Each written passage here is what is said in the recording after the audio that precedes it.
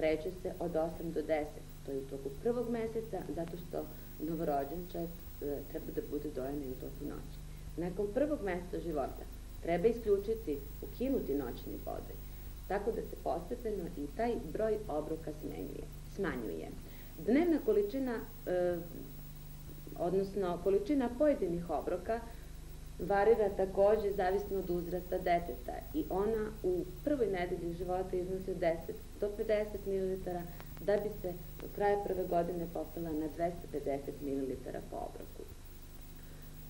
Veliki procenat majki samo inicijativno napušta dojenje u periodu od 6 do 8 nedelja nakon porođaja, a najčešći razlog zato jeste mišljenje da majka nema dovoljnu količinu mleka ili upravo ono što sam malo pre navela da mleko nije dobro kvaliteta.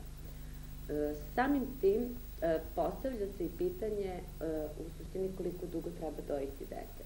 U našim prilikama to je ipak više vezano za kulturne i tradicionalne navike. Pa pored ovih prednosti koje ste već naveli da ima prirodna ishrana, ona verovatno ima neke nedostatke i probleme. Pa ovako, nedostaci prirodne ishrane uglavnom su prolaznog karaktera. Naime, u toku prve nedelje dojenja mogu se javiti problemi koji su uglavnom vezani za majku. To su neadekvatno pripremljene bradavice koje sa sobom nose rizik od nastanka ragada, zatim ravne bradavice, i može doći do pojave mastita, abscesa, dojke, ali to su sve teškoće koje se adekvatnim tretmanom vrlo brzo prevazilaze. Daleko češći problem jeste hipogalaksija, odnosno nedovoljno lučenje mleka.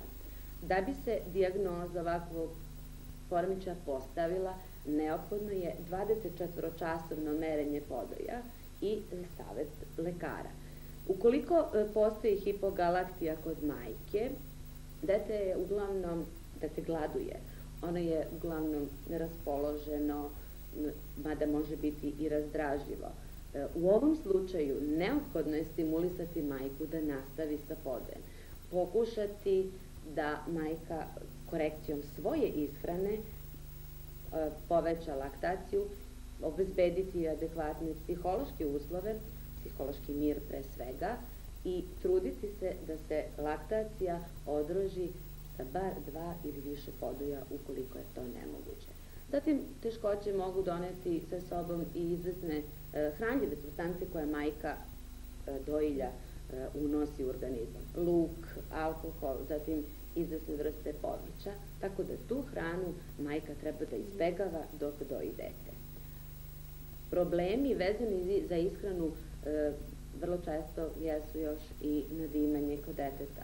Naime, to je e, slučaj kada dete guta veću količinu vazduha, E, koja ta količina vazduha rasteže želudac i creva e, i izaziva bolne senzacije. To se može prevazići ukoliko se dete nakon podoja drži 5 do 10 minuta u uspravnom položaju, blago lupka po leđima dok ne podrigne i izbaci taj višak vazduha. Zatim može se javiti bljuckanje, to je gotovo uobičajena pojava kod naših beba, e, To ne zahteva nikakav poseban tretman, inače to je pojava kada beba nakon obroka vrati praktično više unete količine mleka. Međutim, ako se e, uoči da beba povraća nakon obroka ili između obroka, onda treba zatražiti lekarski savjet. E, stolica kod dojednog deteta uglavnom je zlatno žuta, može imati više puta u toku dana, ali se takođe može desiti da stolica izostane 3 do 4 dana.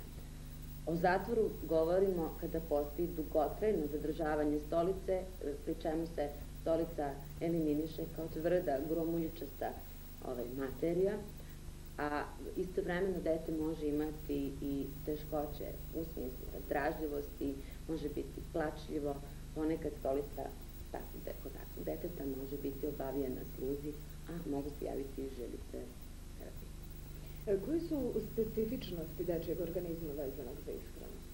Vidite kako, pravilna ishrana jedan je od osnovnih uslova za dobar rast i razvoj deteta.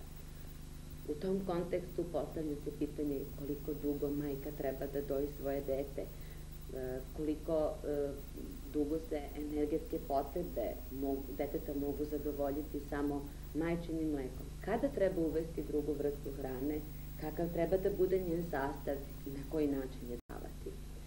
Upravo stoga imati, treba imati u vidu određene specifičnosti dečeg organizma. Ovde pre svega mislim na nezrelost želudočno crevnog trakta e, novorođenčata i odojčata u toku prvih šest meseci. Naime, u ovom periodu e, varenje masti, ugljenih hidrata, belančevina je neadekvatno, ali zahvaljujući prisustvu e, određenih kompenzatornih mehanizama u humanom mleku, ove tegobe, teškoće mogu se prevazići.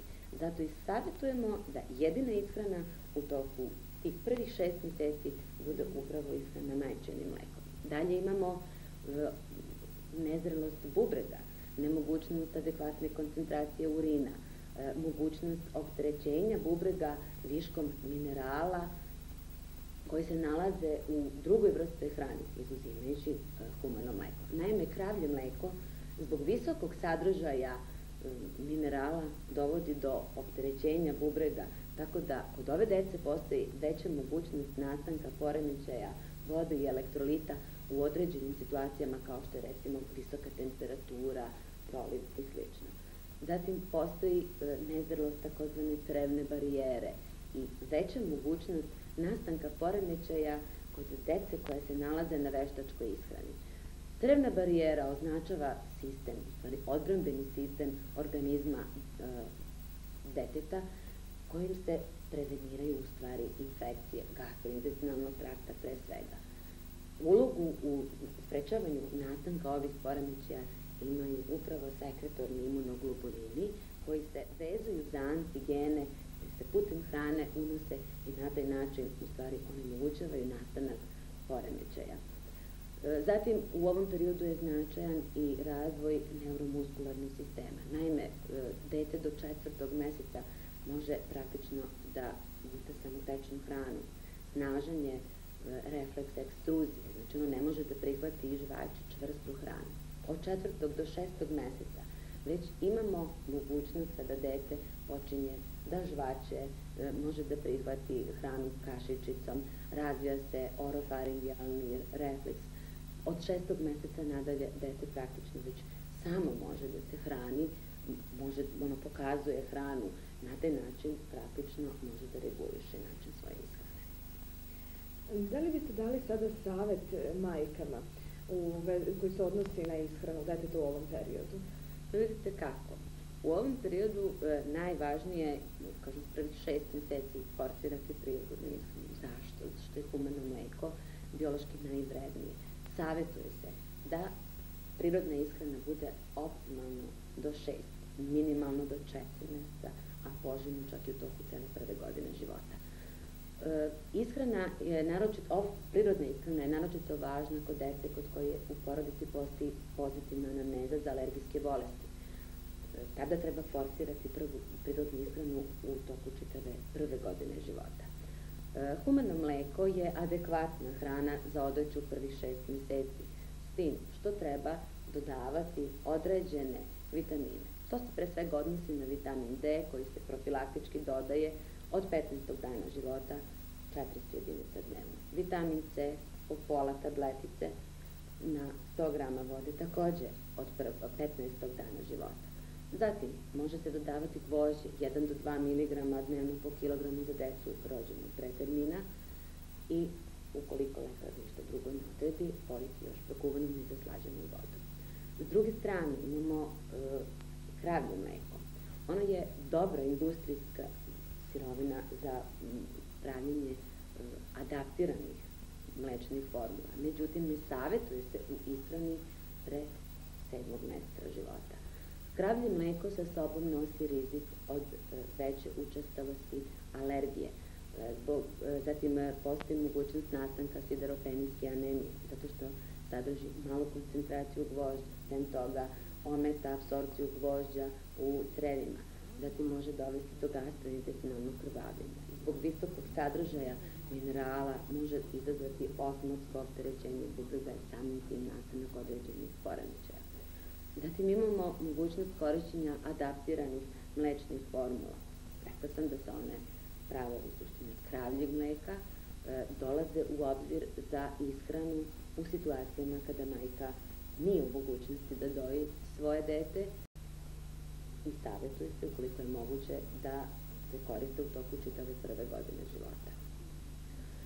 Parametri za procenu ishrane kod dece jesu pre svega serijsko merenje telesne mase i telesne dužine. Za decu je karakteristično u prvoj godini neravnomerni brzi porast telesne mase i dužine, tako da e, odojče praktično udvostruči e, svoju telesnu masu sa 5 do 6 meseci, a utrostruči je za 12 meseci. Zatim imamo određene biohemijske pokazatelje, pre svega krvnu sliku, proteine, serumsko gvožđe i prati se intelektualne funkcije. Dobro, bih vas na kraju molila samo još da kažete nešto, da zaokružimo razgovor. Ovako, ja bih zamolila e, sve naše majke da ukoliko god je moguće nastave sa dojenjem iz svih ovih razloga koje sam navela. Ovom prilikom e, hoću da zamolim i svoje kolege i sve zdravstvene radnike se bave problemom žene, dece, da svim majkama pruže potrebnu pomoć i znanje kako bi one mogle da ustraju u svoj želji da održe laktac.